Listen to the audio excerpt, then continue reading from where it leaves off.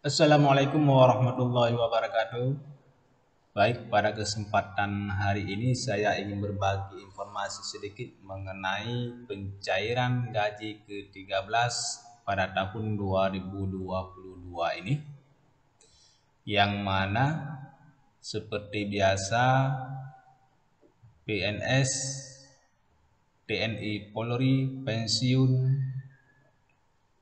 akan menerima gaji ke-13 dari pemerintah setahun sekali akan tetapi pencairannya untuk tahun 2022 ini yaitu kemungkinan pencairan di awal Juni. Ini berita yang dimuat dari detik.com. Pensiunan koma janda dan duda PNS juga kebagian gaji ke-13 segini besarannya. Kita simak Jakarta gaji ke-13 PNS bakal cair pada 1 Juli 2022. Berarti gaji ke-13 PNS bakal cair mulai 1 Juli tahun 2022. Ini tanggal tanggal 23 Juni. Berarti sekitar 7 hari lagi sudah mulai cair.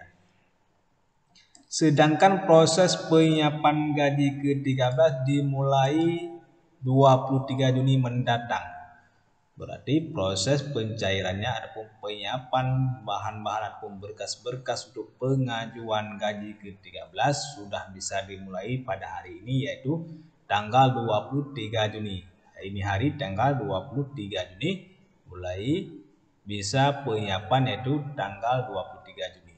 Nah, selain PNS aktif, pensiunan hingga penerima pensiun dan penerima tunjangan juga ikut ke bagian gaji ke-13. Berarti bukan hanya untuk PNS aktif akan tetapi juga gaji ke-13 ini diberikan kepada pensiun ataupun penerima pensiun dan tunjangan.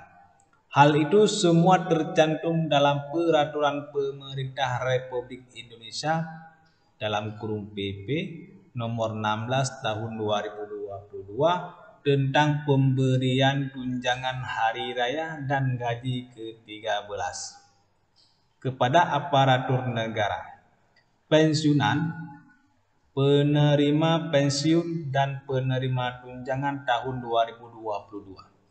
Penerima pensiun yang dimaksud contohnya seperti janda dan duda PNS. Dalam yang telah diteken Presiden Joko Widodo ataupun Jokowi itu gaji ke-13 yang akan diterima PNS dibayarkan berdasarkan pada komponen penghasilan yang dibayarkan pada Juni atau bulan sebelumnya. Berarti besaran gaji ke-13 ini akan dibayarkan sesuai gaji yang dibayar pada bulan Juni. Contohnya gaji bulan Juni ada 5 juta berarti dibayar juga gaji ke-13-nya yaitu 5 juta. Berarti sama besarannya seperti gaji sebelumnya ataupun gaji pada bulan sebelumnya. Adapun besaran gaji ke-13 PNS dihitung dari total gaji pokok. Ditambah tunjangan keluarga, tunjangan pangan, tunjangan jabatan, atau tunjangan umum. Nah, tahun ini jumlahnya ditambah dengan 50% tunjangan kinerja sesuai jabatan. Akan tetapi pada tahun 2022 ini yaitu ada penambahan 50% dari tunjangan kinerja yaitu gaji ke-13 pada tahun 2022 ini ada penambahan 50% dari tunjangan kinerja, pangkat, peringkat jabatan atau kelas jabatan. Jumlah yang akan diterima PNS aktif ini akan berbeda jika dibandingkan dengan pensiunan dan penerima pensiun karena pokok yang didapatkan oleh PNS aktif dan pensiun berbeda. Berarti ya pasti beda karena ini PNS aktif ada tunjangan kinerja dan tunjangan lainnya. Kalau pensiun hanya menerima gaji pokok. Penetapan besaran pensiunan pokok diatur melalui peraturan pemerintah nomor 18 tahun 2019 tentang penetapan pensiun pokok, pensiun pegawai negeri sipil dan janda garis mereng duda lantas berapa besaran pensiun pokok PNS yaitu sama-sama kita ketahui yaitu tentang gaji pokok PNS sesuai dengan golongan dan jabatan.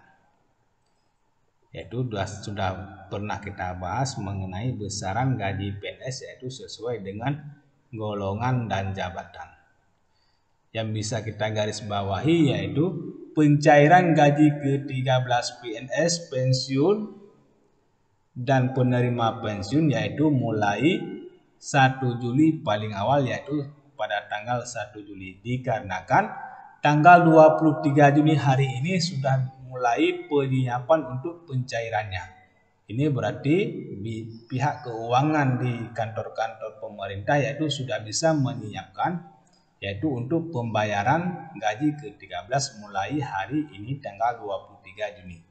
Agar pencairannya pada 1 Juli mendatang akan mulai untuk pencairan gaji ke-13. Oke, ya oke yaitu untuk pencairan gaji ke-13 yaitu mulai tanggal 1 Juli tahun 2022. Oke, hanya sekian yang dapat saya bagikan informasi pada hari ini. Mohon bantuannya untuk subscribe channel kami agar mendapatkan video-video terupdate lainnya. Oke, hanya sekian.